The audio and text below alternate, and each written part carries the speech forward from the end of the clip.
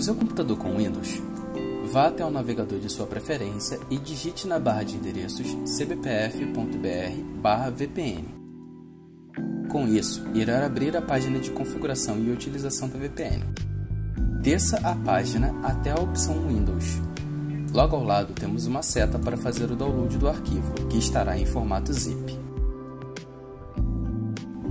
Se acaso aparecer a informação que há vírus no arquivo, clique na setinha ao lado e escolha Manter.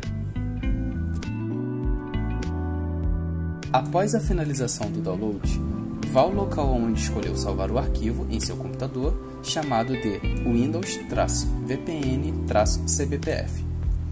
Clique com o botão direito sobre o arquivo e escolha a opção Extrair tudo para que ele possa criar uma pasta com o arquivo. Entre na pasta e achará o arquivo executável. Clique com o botão direito sobre o programa e selecione Abrir como administrador e selecione Sim para iniciar.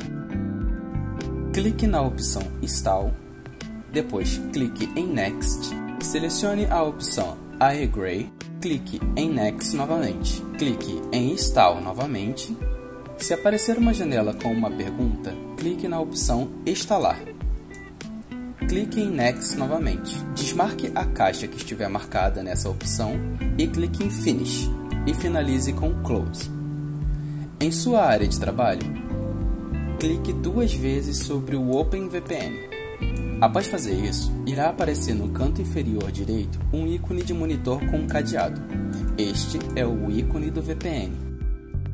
Clique com o botão direito sobre ele e clique em Conectar.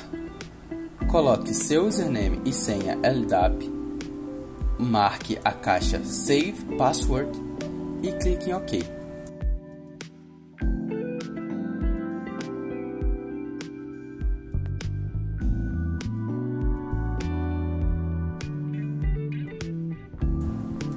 Verifique se o ícone da VPN está em verde. E pronto, você estará conectado na VPN do CBPF.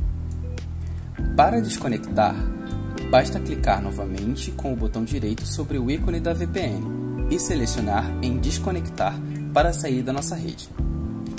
Bem-vindo à VPN do CBPF.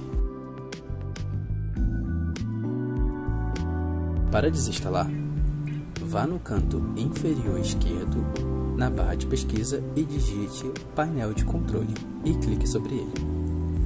Irá abrir uma nova janela e clique em Desinstalar um programa. Abrirá uma lista com todos os programas instalados em seu computador.